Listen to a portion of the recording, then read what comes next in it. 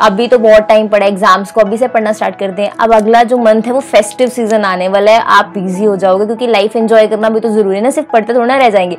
तब उस मंथ में, उस फेस्टिव सीज़न को आप अच्छे से एंजॉय कर पाओ तो स्टार्टिंग से इसी मंथ से आप अच्छे से पढ़ना शुरू कर दो। किसी भी सब्जेक्ट पे अगर आपको अच्छे मार्क्स लेने हैं ना तो आपको उसके क्वेश्चन पेपर प्रीवियस ईयर बहुत ज़रूरत पड़ेगी। कोई भी चैप्टर डिफ़िकल्ट नहीं है, पहले तो ये माइंड में डालो। सुपर डुपर इजी चैप्टर्स हैं। और सिर्फ़ कहने के लिए नहीं है। Hi everyone this Bhartiya welcome to my channel dream maths और आज हम डिस्कस करने वाले बहुत इंपॉर्टेंट चीज़, चाहे आप किसी भी यूनिवर्सिटी से बीबीए कर रहे हो बीकॉम कर रहे हो, आपको मैथ्स से कैसे डील करना है मैथ्स सब्जेक्ट में कैसे आपने अच्छे मार्क्स लेने हैं, ये सब डिस्कस करने वाले हैं। जब भी हम कोई भी मतलब ट्वेल्थ के बाद कोर्स चूज़ करते हैं, सबसे पहले ये माइंड में आता है कि इसमें मैथ्स है कि नहीं, मैंने ट्वेल्थ में मैथ्स लिया था या नहीं लिया, वो सारी चीज़ें माइंड में आती हैं कि मैं मैथ्स कर पाऊँगा, नहीं री ना आ जाए, ये सब चीज़ें हम सॉर्ट आउट करने वाले हैं कि आपने बिज़नेस मैथमेटिक्स से डील कैसे करना है। आपको पेपर के बारे में पता होना चाहिए, उसके सारे पैटर्न के बारे में पता होना चाहिए सिलेबस कहाँ से मिलेगा? मतलब किसी भी यूनिवर्सिटी से आपको सिलेबस कहाँ से मिलेगा? ये सब चीज़ें करेंगे।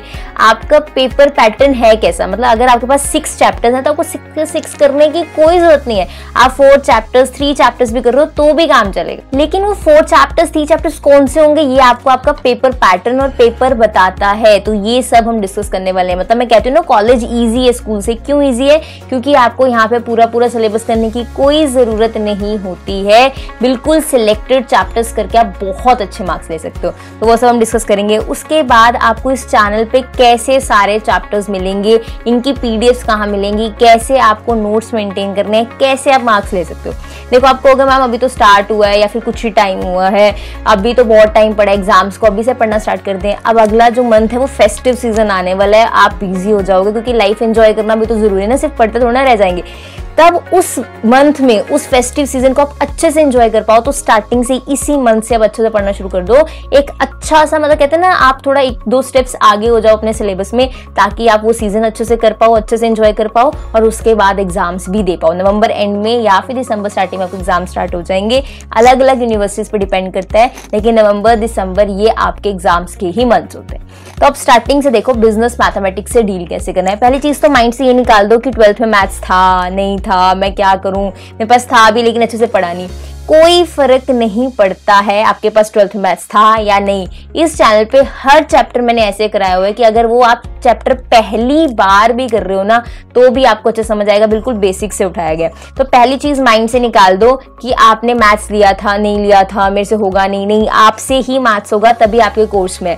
अगर जिसने डिसाइड किया कि बीबीए में मैथ्स होना चाहिए तो उसको भी तो पता होगा ना कि कॉमर्स में ट्वेल्थ में चॉइस होती है मैथ्स होना हो। तो वो अवेयर है, उन्होंने वही लेवल का मैथ्स रखा है, चाहे आपके पास ट्वेल्थ में मैथ्स हो, चाहे ना हो, आप अच्छे से डील कर लोगे तो इस चीज़ की टेंशन माइंड से निकाल दो।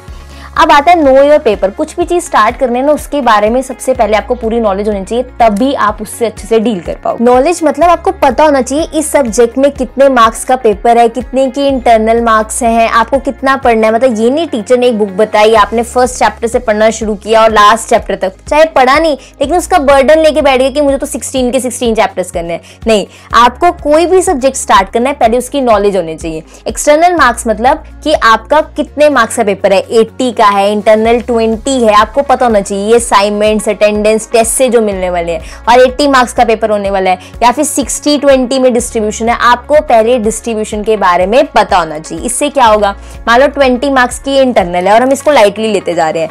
मेरे पास पाँच सब्जेक्ट्स हैं। सबकी ट्वेंटी ट्वेंटी मार्क्स की क्या है? इंटरनल है। तो टोटल कितने हो गए? टोटल हंड्रेड मार्क्स हो गए। तो हंड्रेड मार्क्स क्या कम होते हैं? हर सब्जेक्ट आपको ट्वेंटी दे रहा है। और ऐसे टोटल करते हंड्रेड मार्क्स हो गए। सिर्फ़ ये हंड्रेड मार्क्स कैसे मिल रहे हैं? प्रॉपर टेस्ट दे के असाइनमेंट्स दे के अटेंडेंस से। और टेस्ट में वही चैप्टर्स आने जो आपके पेपर में आपको हेल्प करेंगे। तो आप पहले ही उसको टेस्ट अच्छे से दे दो। तो इसका मतलब ये आपने हंड्रेड मार्क्स तो बिल्कुल नहीं छोड़ने फाइव सब्जेक्ट से आपने हर एक में ट्वेंटी ट्वेंटी मिल मतलब ये नहीं कि मुश्किल है ट्वेंटी मिलेंगे नहीं। बहुत ईजिली मिलते हैं। अगर आप प्रॉपरली काम करते हो कॉलेज वाले देने को ही बैठे हैं वो मार्क्स वो आपको रखना नहीं चाहते मार्क्स आपके। आपको देना ही चाहते हैं, उनका रिज़ल्ट अच्छा होता है। तो आपने ये काम प्रॉपरली करना है अटेंडेंस असाइनमेंट और टेस्ट अब रही बात एक्सटर्नल मार्क्स की। 80 मार्क्स सिक्सटी मार्क्स जिसकी आपने प्रिपरेशन करनी है और बहुत अच्छा से करनी है। अब होता क्या है, हम सोच लेते हैं एट्टी मार्क्स फुल लेने मतलब मुझे सिक्सटीन के सिक्सटीन चैप्टर्स करने पड़ेंगे। नहीं करने हैं। आपको आपके सिलेबस आपके पेपर पैटर्न की नॉलेज है तो आप सिक्सटीन में से अगर ट्वेल्व चैप्टर्स भी कर रहे हो तो भी एट्टी में से आप सेवेंटी फाइव मार्क्स बहुत आराम से ले सकते हो। अब ये सिर्फ़ कहने को नहीं कह रही, अब बताऊँगी वो काम कैसे करना है। सबसे पहली चीज़, आपको पेपर का नाम पता लग गया, कितने मार्क्स का पेपर है, ये सब पता लग गया। पर ये कहाँ से पता लगेगा कि इंटरनल असेसमेंट कितने की एक्सटर्नल कितने की है। देखो कॉलेज में आप वेट नहीं कर सकते कि हर कोई आपको आके बताएगा एक एक चीज़ की ऐसे काम होगा इंटरनल इतने का है पेपर में सिलेबस इतना करना है। टीचर आपको नहीं कह सकता कि सिक्सटीन में से ट्वेल्व चैप्टर्स करो। ये आपने खुद अपनी रिस्पॉन्सिबिलिटी लेके चीज़ें सर्च करनी शुरू करनी है। पहली बात आपका सिलेबस सिलेबस ना जल्दी जल्दी चेंज होता है। जल्दी जल्दी इन द सेंस कुछ कुछ एक एक मतलब कभी चैप्टर्स चेंज हो रहे हैं, कभी पैटर्न चेंज हो रहे हैं। तो अपना लेटेस्ट सिलेबस देखना है, कहाँ से देखना है वेबसाइट से। आप किसी, जैसे मान लो मैं K you K B B A maths का चाहते लिखूँगी। K U K B B A maths ये सिलेबस मेरे को मिल जाएगा। कहाँ पे? गूगल पे आप सर्च करो, आपको पी मिल जाएँगी सारे सिलेबस की। मतलब सारे आप ऐसे सब्जेक्ट्स के ढूंढ सकते हो, जैसे मैथ्स का ढूंढा, वैसे अकाउंट्स का ढूंढ सकते हो, और भी जितने भी आपके सब्जेक्ट्स हैं, पहले आपने अपना सिलेबस सर्च करना है। सिलेबस का एक आपके पास शीट आ जाएगा, उसके ऊपर सबसे पहले ये लिखा होगा एक्सटर्नल मार्क्स कितना है इंटरनल मार्क्स कितना है, और ड्यूरेशन कितने मार्क्स का वो पेपर होने वाला है। उसके ऊपर वहाँ क्लियरली मेंशन होगा, वहाँ से आपको आपके सब्जेक्ट के बारे में पता लग जाएगा। सेकेंड चीज़, जो सिलेबस होता है, वो ऐसा बिल्कुल भी नहीं होता कि चैप्टर लिखे हुए हैं chapter one chapter two chapter three नहीं।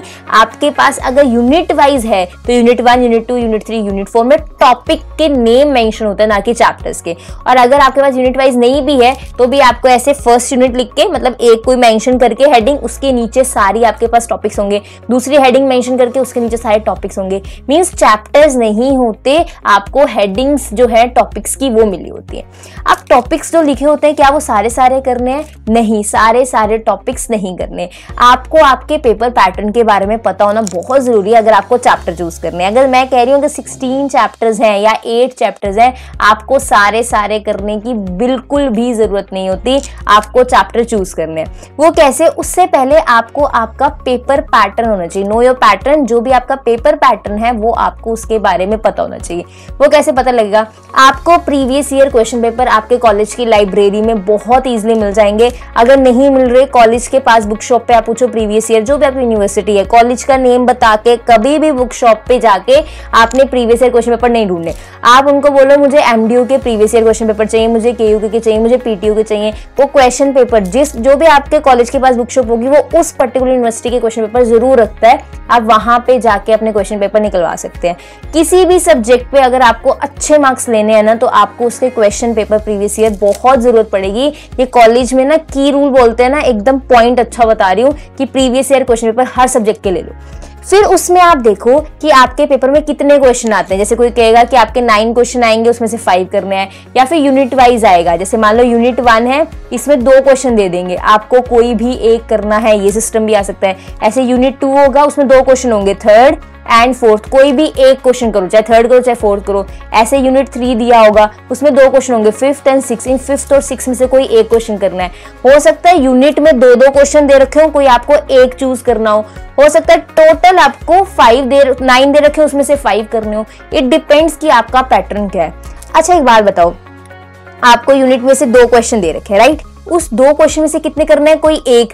अब ये बताओ, अगर मुझे दो में से कोई एक ही करना है और इस यूनिट वन में पाँच चैप्टर तैयार करने थे तो अगर दो क्वेश्चन में से मैंने एक क्वेश्चन ही पेपर में जाकर अटेम्प्ट करना है तो मैं पाँच के पाँच चैप्टर क्यों तैयार करूँगी? एक बार ध्यान समझो। मैंने सिलेबस में देखा कि यूनिट वन में पाँच चैप्टर्स हैं, या फिर को ट्वेंटी फाइव टॉपिक्स हैं। ठीक है, मैंने कहा टॉपिक वाइज दिया होता सिलेबस यूनिट वन में पच्चीस टॉपिक्स आने हैं। और पेपर में जाके मुझे पता है कि यहाँ पे कोई कोई भी दो क्वेश्चन दिए होंगे, कोई एक करना है। तो मैं 25 के 25 क्यों तैयार करूँगी? मैं उसमें से सिलेक्शन ऐसे करूँगी कि मैं अपना कोई एक क्वेश्चन अच्छे से अटेम्प्ट कर पाऊँ।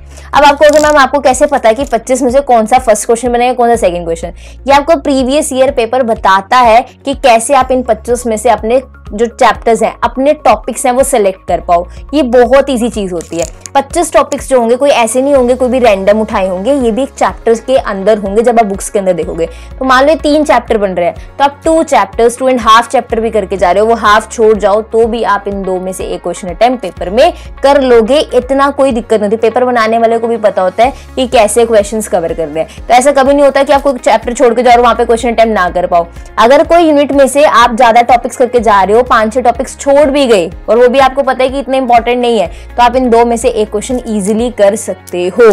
और जब मैं कोई चैप्टर यूट्यूब चैनल पे करा रही हूँ साथ मैं आपको बताती रहती हूँ कि ये इंपॉर्टेंट है, ये नहीं है, इसको तो पक्का करना ही है, ये सब चीज़ें मैं आपको बताती जाती हूँ। और फाइव आउट ऑफ़ नाइन तो सबसे बेस्ट है, कोई भी नौ में से पाँच क्वेश्चन करने हैं। मान लो आपके पास आठ चैप्टर है, दस चैप्टर है, आप सात चैप्टर भी कर जाओ दस में से तो भी आप five question out of nine निकाल लोगे गारंटेड बोल रही हूँ। आप सेवन चैप्टर कर लो आउट ऑफ़ नाइन तो भी आप ये पाँच क्वेश्चन नाइन में से निकाल लोगे पेपर में जाके।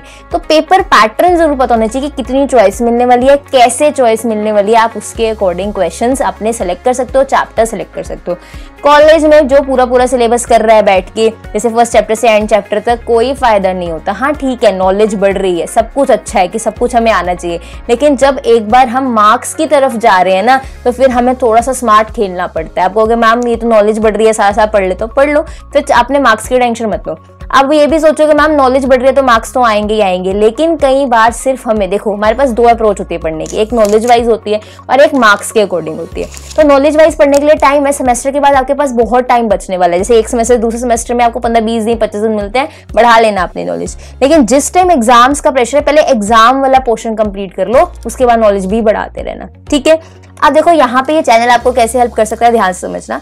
कोई भी चैप्टर डिफ़िकल्ट नहीं है, पहले तो ये माइंड में डालो। सुपर डुपर इजी चैप्टर्स हैं। और सिर्फ़ कहने के लिए नहीं है, जिन्होंने ये पढ़ा है ना चैप्टर्स पहले या फ़र्स्ट सेम सेकंड सेम में, वो फटाफट से कमेंट सेक्शन में बता देना कि बताओ कुछ मुश्किल है कि नहीं है। मतलब जो पहले एक बार मेरे से मैथ्स पढ़ चुका है, उसको ये बात अच्छे से क्लियर होगी कि सब कुछ सुपर डुपर ईजी है, लेकिन थोड़ा कंसेंट्रेशन थोड़ा सा डिसिप्लिन के साथ पढ़ना ज़रूरी है। नोट्स बनाने हैं साथ साथ मैं अभी चैप्टर्स के बारे में बताती हूँ। आप कोई भी वीडियो देख रहे हो ना, उसमें नोट्स ज़रूर बनाने हैं। नोट्स का मतलब आपको बार बार वो वीडियो ना देखनी पड़े। देखो, कोई कहेगा कि मेरी वीडियो बार बार मत देखो। मैं कह रही हूँ। क्योंकि अगर आपने एक बार वीडियो देख ली, आपने नोट्स बना लिए, आपको वो चीज़ दोबारा समझने की ज़रूरत पड़ेगी नहीं, आपको एक ही बार वीडियो देखने से अच्छे समझ आ जाएगी। नोट्स आप बार बार रिवाइज करते रहोगे टाइम सेव होगा और पेपर के लिए अच्छी तैयारी होगी। तो नोट्स ज़रूर बनाते चलना है। नोट्स किस चीज़ की? जो भी मैं फॉर्मूला बता रही होती हूँ, जो भी मैं क्वेश्चन करा रही होती हूँ, जो भी आपको स्क्रीन पे दिखा मतलब बोर्ड पे जो भी मिलता है, वो आपने वहाँ नोट करना है ताकि बाद में उसको रीड करके एक ही बार में आपको चीज़ें समझ आ दे सेकेंड चीज़ नोट्स बनाने के बाद जो भी बुक आपके पास है, जीवन सेंस पब्लिकेशन कोई भी बुक आपके पास हो, जो आपके कॉलेज या यूनिवर्सिटी ने आपको रिकमेंड की हो आप उससे सेम टॉपिक के क्वेश्चन ट्राई करोगे। For example matrix and determinants है। ठीक है डिटर्मिनेंट्स मैच कुछ निकालना सीखा आपने। डिटर्मिनेंट कैसे निकालते हैं एड कैसे निकालते हैं। ये सीख के नोट्स बना लिए। अब आपने अपनी बुक पे जाना है और वही टॉपिक के आपने क्वेश्चंस उठा के करके देखने हैं। आपसे वो टॉपिक्स होंगे ही होंगे, इसमें कोई दिक्कत नहीं आएगी।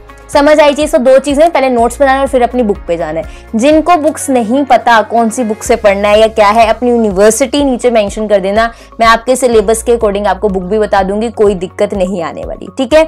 बाकी जो भी ये सारे चैप्टर्स हैं, इनकी पीडीएफ टेलीग्राम चैनल पे है। आप वहाँ जाके चैप्टर्स ईजिली कर सकते हो, नहीं तो मैं बुक भी बता दूँगी, कोई दिक्कत वाली बात नहीं ठीक है? अब देखो चैप्टर कौन से कौन से हैं? Matrix determinant set theory relation and functions अब आप सोचोगे, मैं किस यूनिवर्सिटी के बीबीए बीकॉम स्टूडेंट्स की बात करूँ?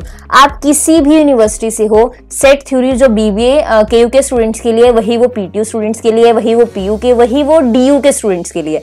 तो सेट थ्योरी नहीं बदलने वाले आप किसी भी यूनिवर्सिटी से हो। तो ये सारे चैप्टर कोई भी यूनिवर्सिटी का बच्चा कर सकता है, यहाँ से चीज़ें सीख के अपनी बुक के क्वेश्चन लगा सकता है, कोई दिक्कत नहीं आएगी। बहुत अच्छे अच्छे नंबरों से बच्चों ने पेपर क्लियर किया है। ऐसे नहीं कि बस क्लियर कर रहे हैं। बहुत अच्छे अच्छे मार्क्स आए हैं बच्चों के। बच्चों ने कमेंट सेक्शन में भी बताए हैं। तो बहुत अच्छे से सिलेबस कवर हो जाएगा। कोई एक्स्ट्रा कोचिंग की, कहीं कुछ पढ़ने की ज़रूरत नहीं है। और नेक्स्ट मंथ आपका फेस्टिव सीज़न है तो अभी से पढ़ना शुरू कर दो एक शेड्यूल बना के। सिर्फ़ मैथ्स ही नहीं, बाकी सब्जेक्ट्स भी। एक दिन में कम से कम दो सब्जेक्ट्स लगाना शुरू करो। मैथ्स और एक और सब्जेक्ट ऐसे करके आपकी तैयारी होगी। ठीक है? अब देखो matrix determinant set theory relation function simple interest compound interest straight lines ये सारे chapter derivatives integration binomial linear programming quadratic linear equation commutation combination limits continuity log antilog logical statement ये सारे चैप्टर्स चैनल पे हैं। और इसके अलावा पूरा आपके पास न्यूमेरिकल मैथड जिसके पास न्यूमेरिकल मैथड जो और स्टैट्स भी चैनल पे मैंने यहाँ पे मतलब मेंशन नहीं किया न्यूमेरिकल मैथड स्टैट्स ये सब चैनल पे है। इसके बाद भी कोई चैप्टर अगर मेरे यहाँ मेंशन करना रह गया हो, आपको लगता है, पहली बात तो अगर आपको लगता है ये चैप्टर मुझे चाहिए तो आप सबसे पहले ना सर्च करो चैप्टर नेम और आगे ड्रीम मैथ्स लिख दो। चैप्टर नेम लिखोगे ना, आगे ड्रीम मैथ्स लिखना। अगर वो चैप्टर चैनल पे है, उसकी प्लेलिस्ट आपको मिल जाएगी। यूट्यूब पे जाके फॉर एग्ज़ाम्पल मुझे मैट्रिक्स नहीं मिल रहा। तो आप मैट्रिक्स ड्रीम मैथ्स लिखोगे, आपको वो चैप्टर की प्लेलिस्ट आपके आगे आ जाएगी। तो जो भी चैप्टर आपको चाहिए, वो चैप्टर ड्रीम मैथ्स लिख के आपको प्लेलिस्ट मिल जाएगी। अगर वो प्लेलिस्ट आपको नहीं मिल रही मतलब मैंने वो नहीं चैप्टर कराया हुआ तो आप इसके कमेंट सेक्शन में वीडियो के डाल देना, जो सा चैप्टर आपको चाहिए, क्योंकि अब नया चैप्टर चैनल पे स्टार्ट होने वाला है तो मैं एक पोल डाल दूँगी कम्युनिटी पे। जिस चैप्टर के सबसे ज़्यादा डिमांड हुई, वो चैप्टर अब स्टार्ट कर देंगे। हम चैनल पे ऐसे ही पहले से होता है। तो फटाफट से जो भी आपको नया चैप्टर चाहिए, यहाँ पे कमेंट सेक्शन में डाल दो। वैसे बहुत सारे चैप्टर्स हो चुके हैं, लेकिन मैं और चैप्टर्स क्योंकि डिफरेंट डिफरेंट यूनिवर्सिटीज के कवर कर रही हूँ तो बाकी चैप्टर्स भी धीरे धीरे आते रहेंगे। टेंशन मत लो बहुत इजीली सारा सिलेबस हो जाएगा। बीबीए हो गया बी कॉम हो गया टेंशन वाली चीज़ नहीं है, बस रेगुलर पढ़ो। काम को अपना इकट्ठा मत करो असाइनमेंट्स हो गए टेस्ट हो गए, इनको लाइटली मत लो। आई होप अब आपको डर नहीं लगेगा मैथ से, और आप में से जितने भी बच्चे अब मैथ स्टार्ट करने वाले हैं, फटाफट से अपनी यूनिवर्सिटी और अपना सेम जो भी है बीबीए बीकॉम मुझे मेंशन करोगे और बताओगे कि अब आप मैथ स्टार्ट करने वाले हो तो इजिली आप मैथ्स कवर कर लोगे, कोई दिक्कत नहीं आने वाली।